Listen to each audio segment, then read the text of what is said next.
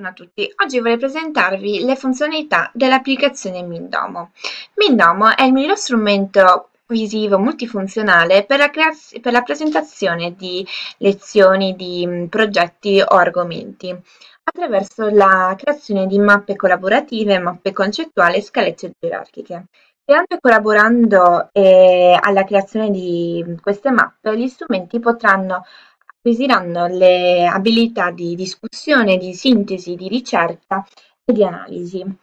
E innanzitutto eh, questa è la schermata iniziale di Mindomo, come possiamo vedere qua sopra troviamo i prezzi che vedremo in dettaglio in seguito, la possibilità di cambiare lingua, iscrizione e l'accesso.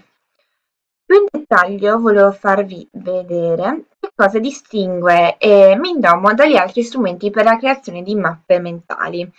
E Mindomo è più focalizzato per fornire la miglior soluzione per insegnanti e strumenti. Come? E intanto abbiamo la modalità di presentazione che consente agli studenti di trasformare le loro mappe in presentazioni in diapositive, rendendo più facile magari la presentazione e argomentare. E inoltre le applicazioni possono essere anche usate attraverso l'iPad o Android e si possono creare le mappe anche in modalità offline o online.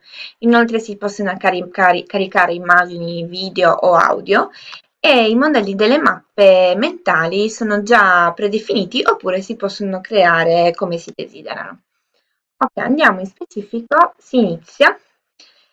Per la registrazione si chiede il nome e cognome, l'email e la password. Come io mi sono già ehm, registrata, vado su accedi. Ok.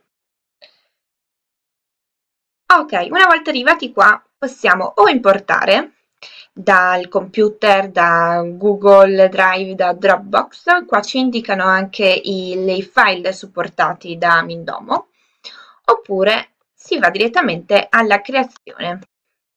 Ok, ci richiede un titolo, ad esempio presentazione.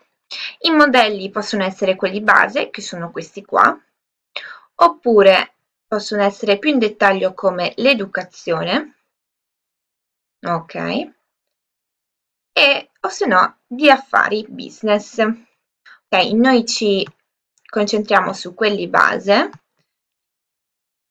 ok, e ehm, Perfetto. Arrivati qua noi abbiamo la possibilità di mh, mm, salvare, di fare una copia, di scaricare, di stampare. Ok, come si procede alla creazione vera e propria della mappa? Cliccando su questo si inserisce un argomento, ovvero il ramo principale. Rischiacciandolo abbiamo un sottoargomento. Ok, se si vuole ripartire dalla presentazione si clicca presentazione e si va sul più. Ok, questi si possono spostare come si desiderano. Ok, questo qua ci permette di fare una relazione tra i due, ad esempio così, perfetto. E questo, queste freccette ci mh, permettono di disfare o rifare l'ultima azione compiuta.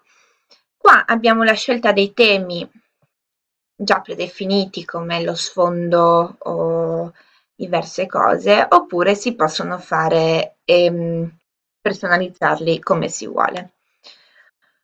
Qui invece in orizzontale abbiamo le, la possibilità di aggiungere delle note, su questo argomento di aggiungere dei, dei link, dei collegamenti o di aggiungere un multimedia o di aggiungere un'icona, aggiungere informazioni task, aggiungere dei commenti, qua c'è un video di esercitazioni in caso e un Mindomo Bookmarks. Ok, una volta completato la mappa, si va qui, si salva e si è a posto. Ritornando all'ultima pagina, troviamo qua la nostra presentazione. Eccola qua. Eccola qua. Bene, arrivederci.